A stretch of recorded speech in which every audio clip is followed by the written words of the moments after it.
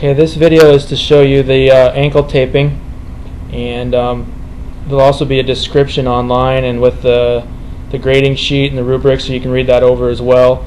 Um, what you won't do, uh, you won't have the, the heel and lace pads or the Tuf-Skin. You're going to have to find yourself some athletic tape um, and some pre-wrap probably to, uh, to practice this because you're going to be needing to send the videos in to me.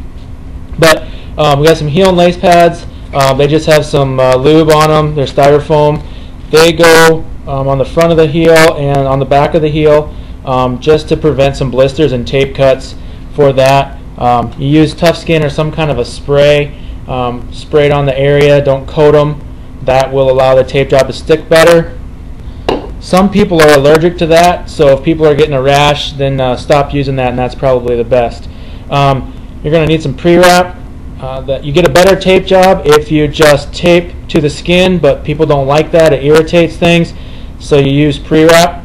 The other thing when you tape the ankle is you need to have the foot uh, in dorsiflexion, have them keep it there. Uh, that's the most position, stable position for the ankle um, with that. Start your pre-wrap um, up from the medial malleolus, um, either where the calf comes into the leg or about one and a half up. That's usually pretty good um, for that. You're going to go around itself a couple times. Now the pre-wrap, you're just going to have to figure out what works good for you. Um, don't force it to go somewhere it doesn't want to go. It will roll. Um, go down to the base of the foot. Make sure everything is covered from where you started to the base of the foot. Don't leave any spaces. That will give you tape cuts. Finish at the top. All right, now we're going to get into the tape job. Um, you're going to start with anchor strips. You do two, two to three, overlap halfway. Okay, overlap them halfway. That doesn't let you have any gaps. Gaps cause tape cuts. Okay, tape sticks better to tape, so that's why we do those. Now we have stirrups. They go in the middle of the heel, up the medial malleolus, and then over to the lateral malleolus stick those down. Just your pressure is straight up the leg. Not in or out, just straight up. Okay, and then anchor that down so they stay. Those compress the talus and calcaneus and kind of squash that ankle together. Okay, now we have figure eights. You start on the, the medial malleolus.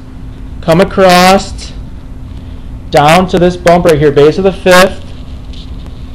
Go straight underneath come back across around the lateral malleolus and finish your eight off by tearing it where you started. Okay, you're going to do two of those right over top of each other.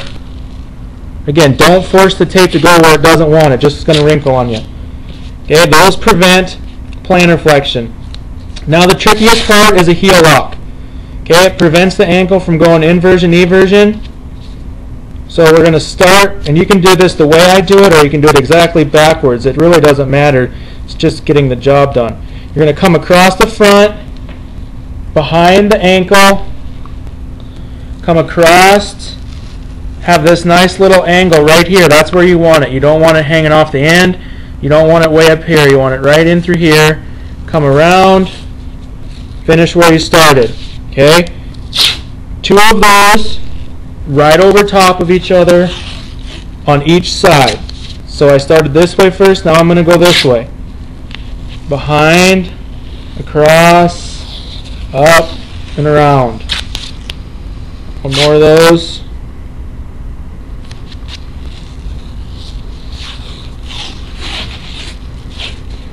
Okay, now you got closing strips. They're just like your anchor strips. They hold everything together hide all your wrinkles, make it look good, make the tape job kind of be more solid. Okay, now when I'm getting to here, I need to start angling my tape towards my toes. Alright, so then now it's not touching, it's just going to touch the edge of the tape. That's my outline right here. Go all the way down until you get to the bottom of the foot. Okay, smooth it out. Check for any gaps. There's a lot of times there's one gap on the bottom of the foot. Cover that up. Okay, now I do a figure eight exactly like I did before. covers all these loose ends, prevents some plantar flexion, ties everything together. Okay, then the last thing is a sock strip. Cover the end of the tape up so that your sock doesn't roll up the tape. Smooth it down.